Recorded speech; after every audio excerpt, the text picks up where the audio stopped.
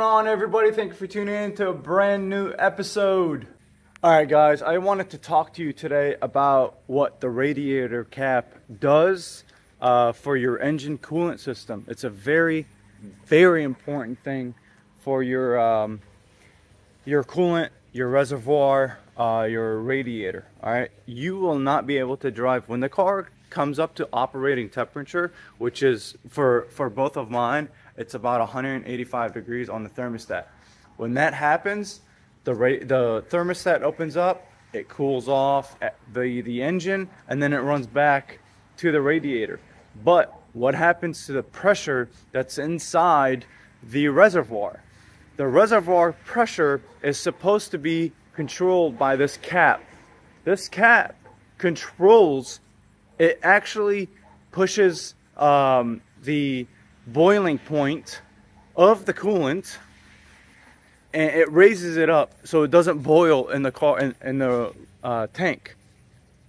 You you will overheat if this goes bad. And how you know it goes bad is literally you shake it goes bad I can't really shake it much.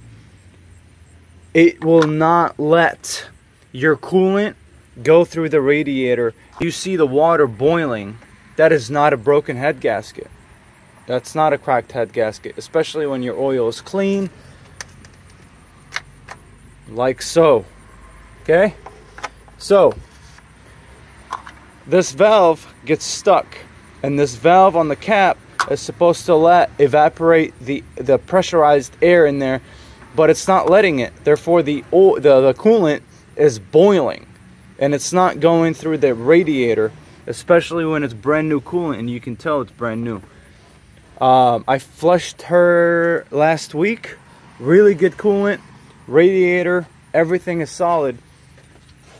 But the cap, this is a very, very important. Without the cap, you if this actually gets stuck, I can shake it here and there. I hear it a little bit, but you're supposed to hear it.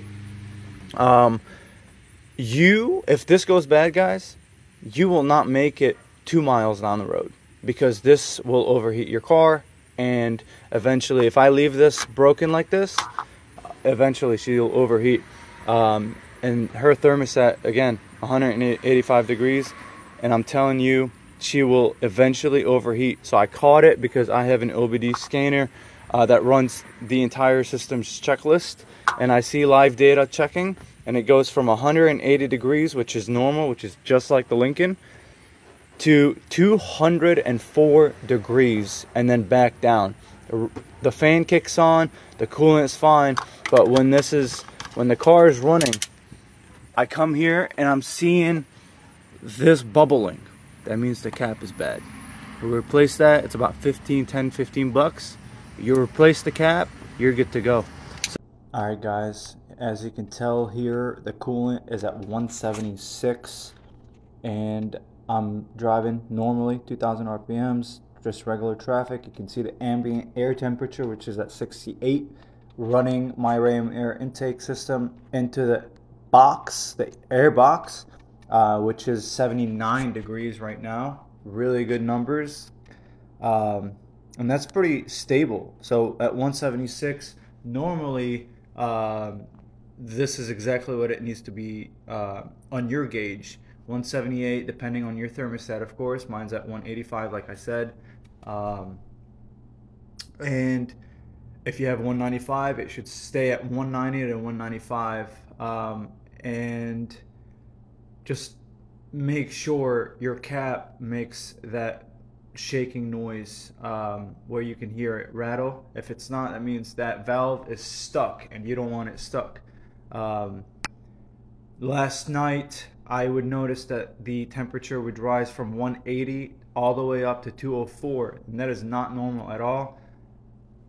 It kind of seemed like she was having hot flashes, and I noticed that the water is boiling, the coolant is boiling. So I was like, what is happening? And I realized, well, the coolant cap is not, uh, it's not working properly. So now, as you can tell, I am idling. The revs are super low at 700 RPMs. 183 degrees, really good numbers. I just wanted to show you guys and let you confirm why your car is either overheating or close to overheating. Don't just don't hesitate. It's a $15 uh, coolant cap, 16 psi. Make sure to replace it. Make sure to listen to what I just showed you. Um, keep your eye on your temperature because winter is coming. And um, that's about it. I hope I saved you guys some time and money and uh, a whole engine. I'll see you guys in the next one. Later.